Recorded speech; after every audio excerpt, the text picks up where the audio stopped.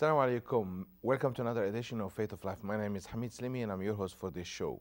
Islam for Common Sense continues with different questions and answers.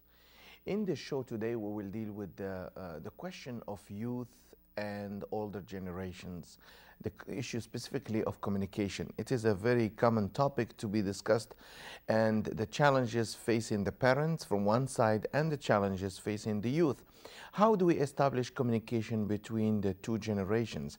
It is very common, especially in the immigrant community uh, in North America or in the West for that matter, or people going from a culture that is different to another culture, a new culture, and their children born there. So, although they may be living in the same house, same family, yet they have different perceptions which were influenced over time by um, ideas, of course, which were local and part of the environment where they grew up. So we have dealt with that issue, answering some of the questions from the parents and from the youth. Uh, questions that come especially uh, relationships, marriage, um, uh, the issue of having a boyfriend or a girlfriend, and of course parents coming from a Muslim background, not uh, used to such thing, and these how they are overcome, uh, and these challenges how they are overcome, these questions how they are tackled and answered, were part of the following questions. So let's watch this, and we will be back after then.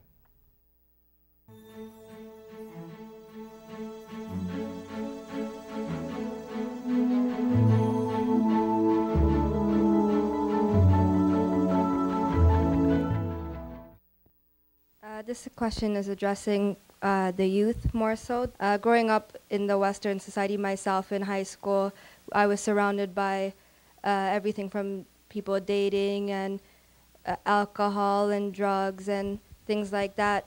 Being a youth here is just very hard to kind of create your own circle to avoid these things, especially on the media. You also see it on the TV too. So everywhere you go, you're seeing it. So how do we kind of stay away from that, but still be part of the society and talk to everyone, but not really fall into the trap of the Western, well, not the Western, but that sort of culture in itself. Okay, Imam, actually, to follow up on this question or to add to it, um, I was born outside of Canada and my daughters were born in uh, North America. And there's always this clash of uh, uh, maybe it's cultural, but at the same time, it's the school. They're not in private Islamic school. So um, the way or the teachings they get from the school sometimes um, does not actually confirm or adhere to the uh, teachings that we're trying to give them. Um, how can we actually balance between them, let's say, for example, sleepovers or um, uh, going out, uh, going to the movies, uh, watching movies at home, um, having a cable or open satellite or things like that.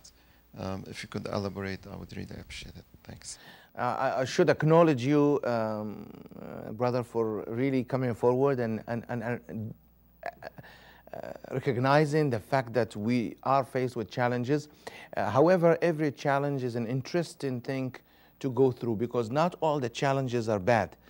And the fact that you mentioned as a father, you have uh, you were brought up in a society which is different than this, but you are a successful man. You have come to this society and you have uh, proven that your principles, your values, your faith could work in a different society where you were raised. Now I hear um, uh, our sister here, uh, both sisters, saying that you know there are challenges, and actually it's actually it goes both ways. You are raising the issue of communication, and the issue of communication is so fundamental that we are neglecting it, and we all say we cannot establish respect unless we have communication. We cannot have communication unless we have consideration. What is consideration?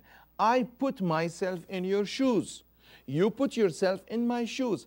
Now, as a father, I talk to my daughter.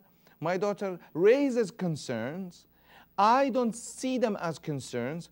I see them probably irrelevant or Uh, could be the opposite. I see them as a da dangerous challenges to, uh, to the person who I am standing in front of her. I'm her father. How dare she speak to me like that? Now, the only way to understand is to put yourself in someone's shoes.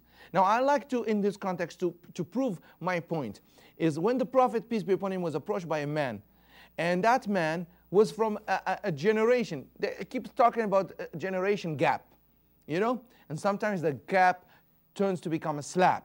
And we don't serve that, uh, that purpose of solving solutions. Look at the psychology is involved here. The Prophet, peace be upon him, here is a man comes to him, a man full of energy, biochemically strong. A man needs a woman. So he is like coming to the Prophet. He can't afford to get married. He comes says, could you give me a license, make an exception for me? You're the Prophet to go and fornicate. There are some girls I like. They are okay. I'm going to go and fornicate with them. Would you allow me to do such thing? Now, of course, some companions were there. Reaction was like, what are you talking about? This is the prophet. How come you're talking like this? So it was immediate reaction of, of, of anger at that person. However, the prophet, peace be upon him, he understood the psychology and recognized that this woman needs a woman. This man needs a woman, and this person is created in a way that he wants a woman. He's a natural person. He has hormones, he has chemicals, so something has to be done. Islam says, get married. Now, of course, the culture has made marriage difficult. Unfortunately, that's another issue about, uh, uh, that we have raised earlier. The culture, in the name of culture, we are banning things. And Islam has made marriage very simple. But this man comes in, and the Prophet, peace be upon him, says, You would like to fornicate? He said, Yes. I would like to have relationships, sexual relationships outside marriage. And he said, okay. Now he's going to use something called common sense, which we spoke about earlier. He said, would you accept somebody to fornicate with your sister? He said, no, I wouldn't accept that, especially in that society, honor issue and all this. He said, okay, would you accept somebody to do it with your daughter? He said, no, I would never accept it. Would you accept it somebody to do it with your mother? He said, no, would you accept it with your aunt? No. He said, if you don't accept it to be done to your own folks, your mother, your sister, your daughter, your relatives, how would you accept it for somebody else? Not only he's using common sense, he's using the cardinal belief of the Muslim, uh, of the Muslims, which is none of you believes until you love for others what you love for yourself. Meaning, you're going to lose the most important thing as we started the show today faith.